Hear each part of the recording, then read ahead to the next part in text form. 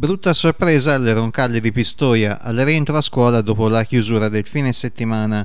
Accorgersi di quel che era avvenuto il personale del plesso che al bastione Tyrion di Porta al Borgo ospita classi dell'istituto comprensivo Roncalli Galilei e della scuola Cino. Ignoti hanno provocato danni considerevoli in un raid tra furto e atto vandalico che non ha risparmiato né aule, della Roncalli in particolare, né uffici. In corso la valutazione dei danni e di cosa è stato sottratto, operazione che per essere portata a compimento richiederà del tempo vista la devastazione causata. Porte sfondate, banchi e sedie sfasciate in un brutto episodio su cui indagano i carabinieri avvertiti subito dopo la scoperta di quel che era avvenuto. Da una prima ricostruzione i ladri vandali risulta siano entrati forzando la recinzione esterna della scuola per poi penetrare da una finestra.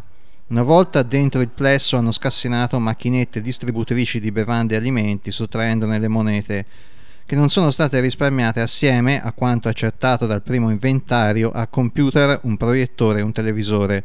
Un furto ingente per la scuola a cui si assomma la valutazione dei danni gratuitamente provocati per impossessarsi del maltolto.